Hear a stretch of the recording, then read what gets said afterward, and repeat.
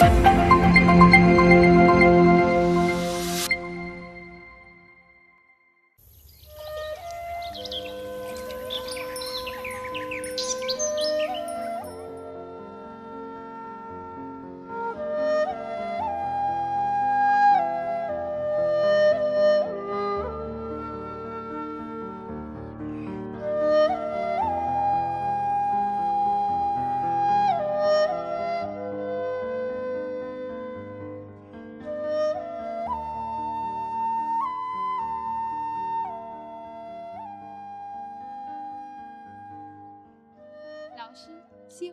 是太美了。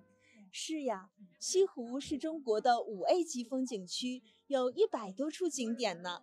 我们看到的只是其中之一。哇，难怪中国朋友都说上有天堂，下有苏杭。杭州有这么好看的西湖，可不就是天堂吗？嗯，薇娜，你看，这座桥名字叫做断桥。关于断桥，还有一段美丽的传说呢。哎，老师，你快给我讲讲。好呀，我们走。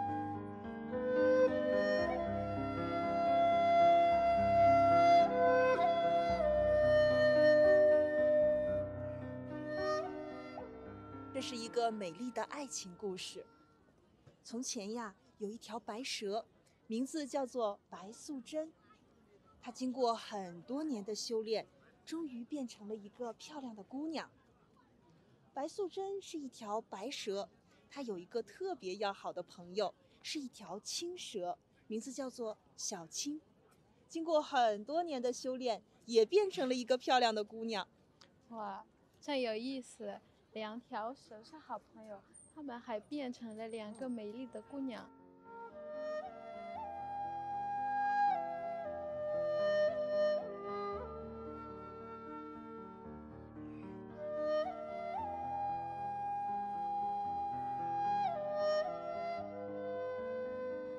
后面的故事更有意思。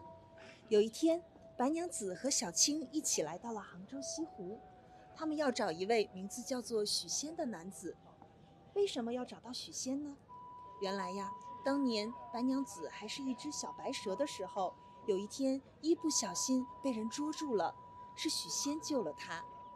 现在小白蛇变成了白娘子，所以她要找到许仙，报答许仙的救命之恩。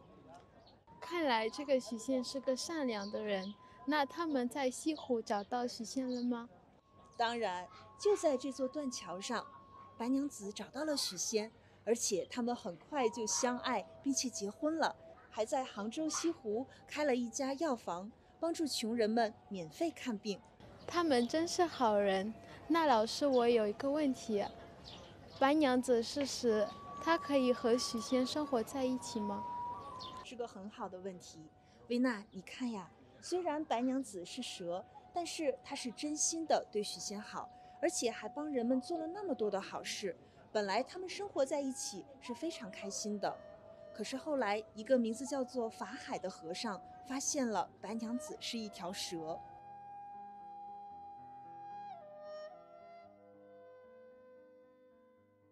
我猜那个法海想要破坏他们的生活，对不对？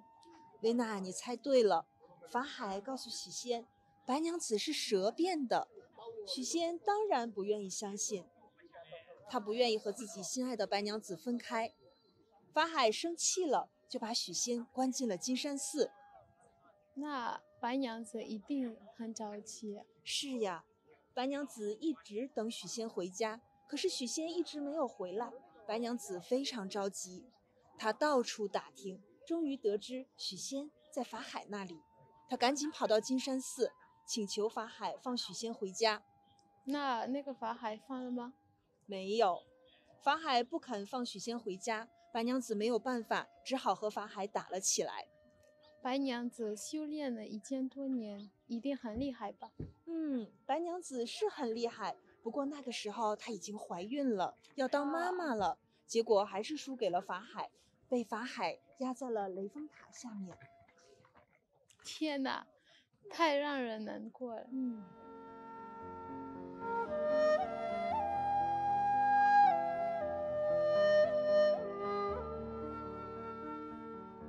魏娜，别难过，你忘了吗？还有小青呢。对，小青也很厉害，一定有办法。嗯。但是那个时候啊，小青的功力还不够，还打不过法海。他离开金山寺以后呢，一个人在深山里默默地修炼了很多年，后来终于打败了法海，救出了白娘子。从此呀，白娘子、许仙还有他们的孩子就一起在西湖边过上了幸福的生活。嗯，这个结局我很喜欢。他们在杭州这么美丽的地方生活，一定很幸福。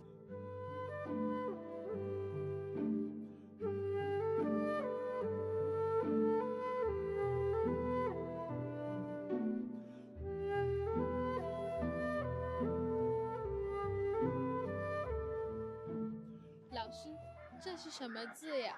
哦，苏堤。薇娜，你看，这就是苏堤。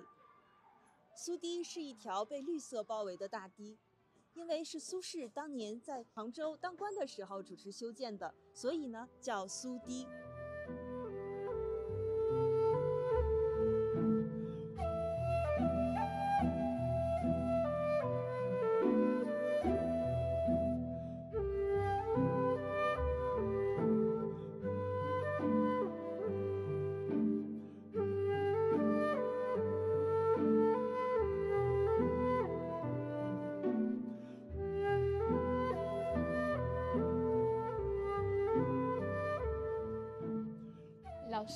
苏轼是谁？苏轼啊，是宋代非常有名的一位诗人，也叫苏东坡。他不仅是一位诗人，还是一位文学家、书法家和画家。他还治理过水灾呢。我们看到的这条苏堤，就是苏轼当年治理水灾的时候留下的。如果我是诗人，看到这么美丽的景色，一定会写诗的。你说对了。苏轼还真的为西湖写下过很多有名的诗句，比如这首《饮湖上初晴后雨》：“水光潋滟晴方好，山色空蒙雨亦奇。欲把西湖比西子，淡妆浓抹总相宜。”淡妆浓抹是化妆的意思吗？是啊。这句诗的前两句“水光潋滟晴方好，山色空蒙雨亦奇”，讲的是晴天的时候，西湖水波荡漾，在阳光的照耀下，波光粼粼，漂亮极了；下雨的时候，西湖远处的山在细雨中时隐时现，展现出一种朦胧的美。后面两句，欲把西湖比西子，淡妆浓抹总相宜，是说如果把美丽的西湖比作漂亮的美人西施，那么淡妆也好，浓妆也罢，都能够很好的展现出她的美。是啊，如果是西施这样的美人，无论化什么样的妆，看起来都很漂亮。淡妆浓抹总相宜，写的真好。嗯，维娜，看起来你很喜欢这首诗，想不想学习一下呀？太好了，老师给我教教我吧。嗯。水光潋滟晴方好，山色空蒙雨亦奇。欲把西湖比西子，淡妆浓抹。总相宜。老师，我很喜欢这首诗。除了苏轼，还有别的诗人写过西湖吗？有呀，唐代的白居易也来过杭州做官，而且呢，他还治理过西湖水。他写过一首诗，名字叫《钱塘江春行》。是写过春天的西湖吗？是呀，你来听一下。几处早莺。争暖树，谁家新燕啄春泥？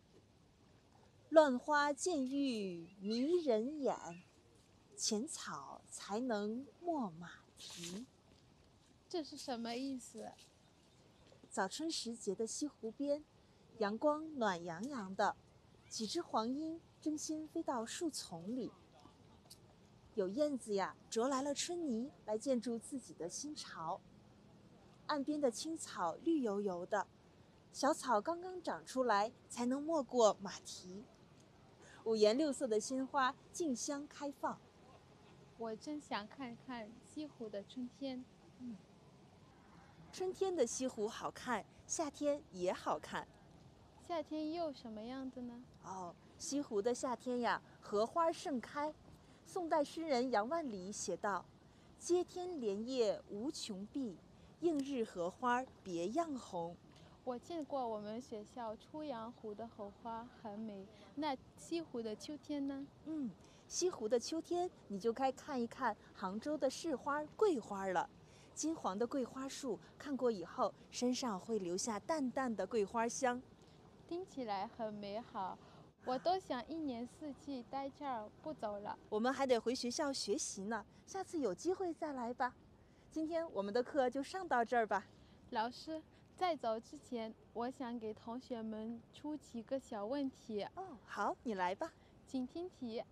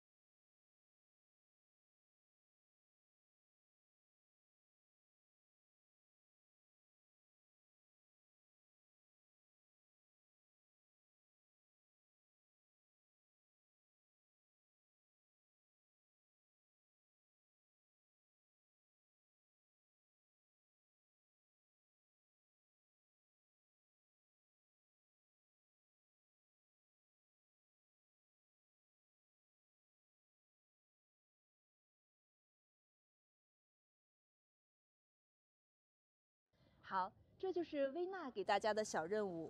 今天我也要给同学们一个小任务，请练习吟诵苏轼的《饮湖上初晴后雨》，展示给大家看。相信同学们一定能够顺利完成任务。今天我们的课就上到这里，同学们加油！我们下次课再见。